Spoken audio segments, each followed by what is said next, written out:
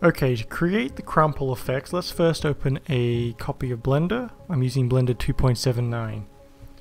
Now I'm going to quickly make a very quick and dirty uh, scene just to uh, show off the rudimentary process of making this.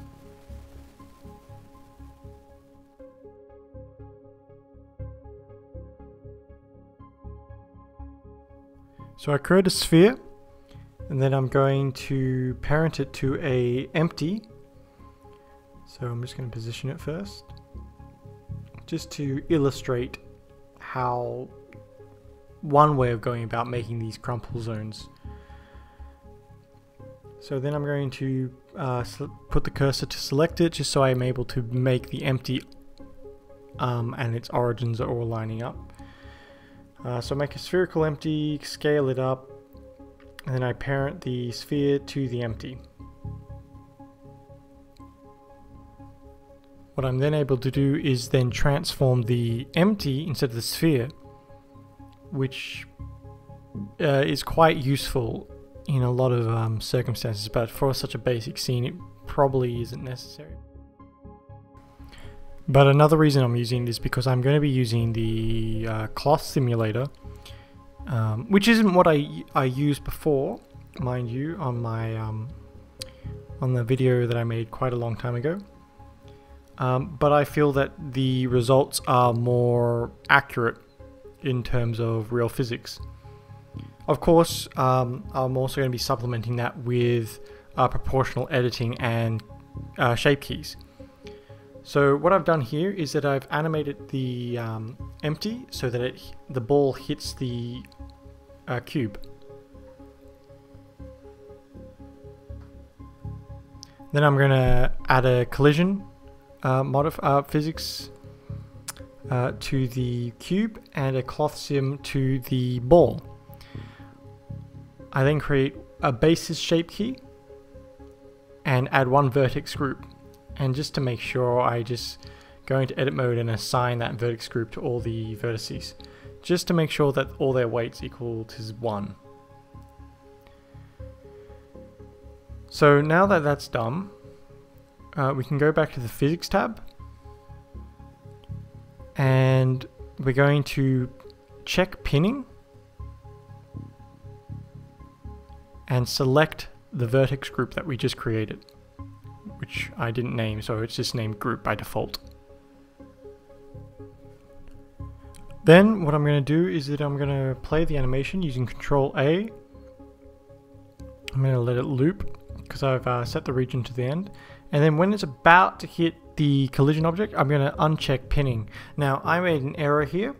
Uh, first of all, I didn't really play with any of the cloth settings, so I, I would suggest um, bumping up the structural a bit more. Just just play around with all the settings and get it to looking how you want it.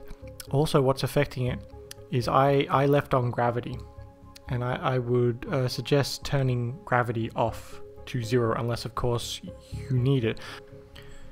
I've also put a subsurface modifier onto the object that gives it its nice crisp look. And as you can see, after turning off gravity, the deformation looks much more uh, natural because it's not sagging down and being pulled down by the internal gravitational forces.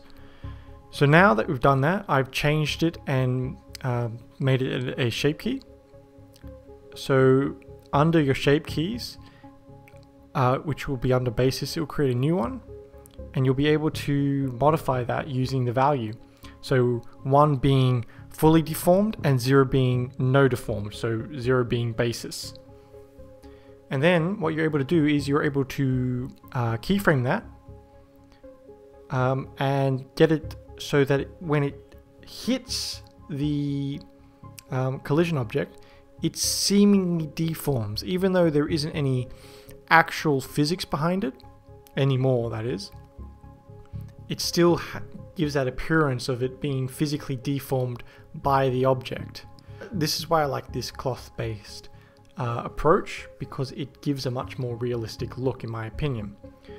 So what you need to do is you have to find the point where the object is just about to hit the, the other object and that is when you want to set your value to zero and keyframe it there.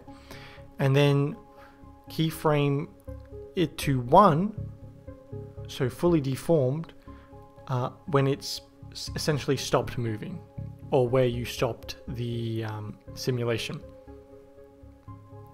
Now, this isn't always going to be 100% accurate, so what you want to do is you want to go in with an another shape key and just clean things up initially. And, the use of a cloth sim and proportional editing um, shape keys is, I feel, a really strong approach to this um, making crumple zones. So you can apply this effect to cars, machinery, and all, all sorts of metallic objects. So I hope this has been informative.